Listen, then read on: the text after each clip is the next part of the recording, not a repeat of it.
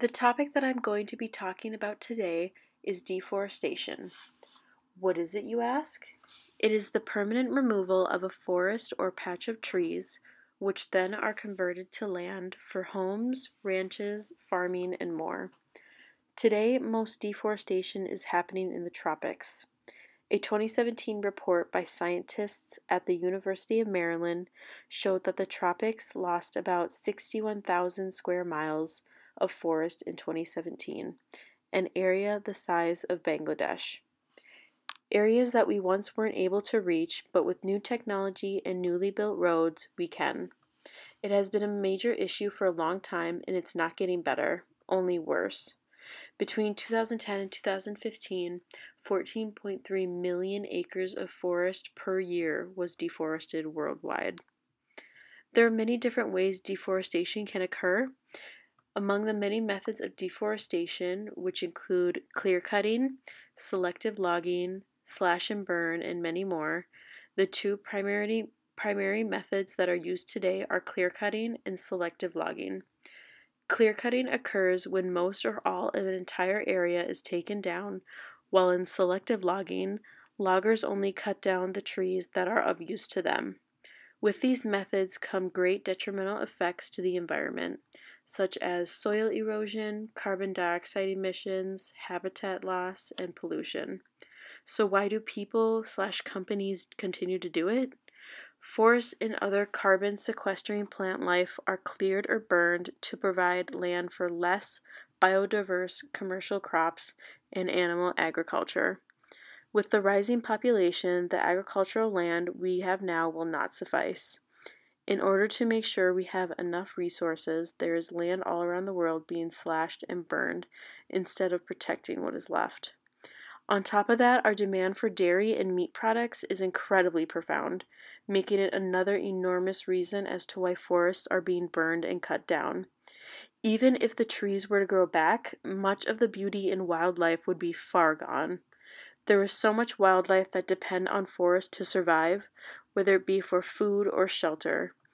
When clearing away forests, it is important to keep in mind that there are both people and wildlife that depend on it to survive. Unfortunately, not a lot of people think about the consequences of their actions, especially when it comes to deforestation. Habitat loss poses a huge threat to all different kinds of species. Without forests, lots of species we know and love will eventually go extinct along with the ones we have yet to discover, which would be such a tremendous loss. The removal of trees in the rainforest specifically would have detrimental effects. With nothing to provide shelter, the temperature will increase even more, much like a desert, which could be fatal for the animals currently inhabited there who aren't adapted to the harsh temperature. Speaking of wildlife, a big effect on their ecosystem is the production of palm oil.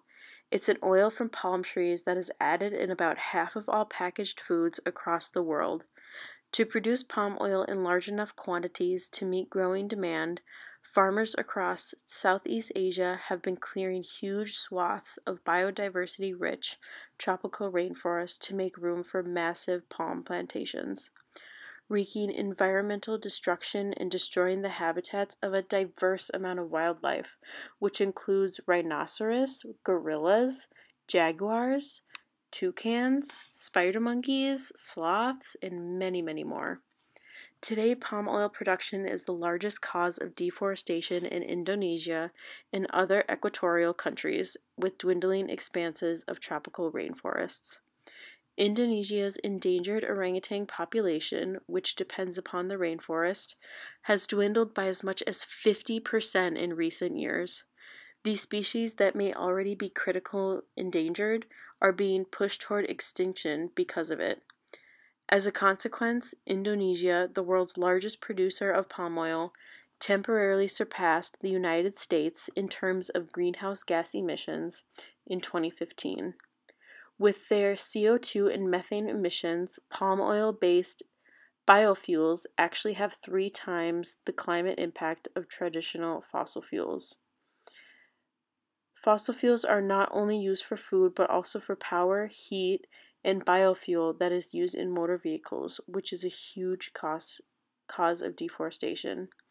Oil palm plantations currently cover more than 27 million hectares of Earth's surface. Forests and human settlements have been destroyed and replaced by green deserts containing virtually no biodiversity on an area the size of New Zealand. Not only is the clearing of those trees detrimental to wildlife, but it also is for us. As I mentioned earlier, one of the effects deforestation has on the environment is carbon dioxide emissions. As many of you are aware, the rise of carbon dioxide emissions have been a problem for quite some time now. We are seeing the effects of it through climate change in many other ways. One way we can keep it at bay is through trees. By going through photosynthesis, they take in greenhouse gases like carbon dioxide and in return provide us with oxygen. When we destroy forests, we're getting rid of our best defense to consume all the greenhouse gases we humans emit. By, con- by cutting down the trees alone, more carbon dioxide is emitted into the air. We're also creating emissions by cutting down trees. When trees are fallen, they release into the atmosphere all the carbon they've been storing. When the deforesters do with the fallen trees, either leaving them to rot on the forest floor or burning them, creates further emissions. All told, deforestation on its own causes about 10% of worldwide emissions. All of the greenhouse gases we are emitting aren't good for our health in any way. More carbon dioxide in the air means less oxygen, making it harder and harder to breathe, leading to potentially serious health conditions in the future, which is why I hope we can stop it. There are many things we can do or be aware of that would help lower emissions worldwide. If there is one thing we can do to help, I believe that is pushing for protection of at least all the big forests and tropics. By doing that, they can replenish in their own time, along with all the animals that inhabit it. People should also learn sustainable farming practices or trying new farming technologies so we don't need as much land to grow crops. Only planting trees won't be enough. Those complex ecosystems are going to need lots of time to develop so that wildlife comes back, water systems will reestablish, carbon will be sequestered, and soils will be replenished. For consumers specifically, we should think twice about what we buy. We should be buying more sustainably produced sources and using less products that are made from trees, like palm oil. However, given the amount of deforestation, completely stopping it anytime soon is not very realistic. It is possible, though. There are countries that have reduced the rate of deforestation in their country. For example, Paraguay reduced the rate of deforestation in their country by 85% in the years just following their enactment of 2004 Zero Deforestation Law. It may not happen soon, but I believe one day we will stop deforestation and find better ways to sustain our ever growing population. It will take sacrifices from anyone, everyone, but it was definitely possible.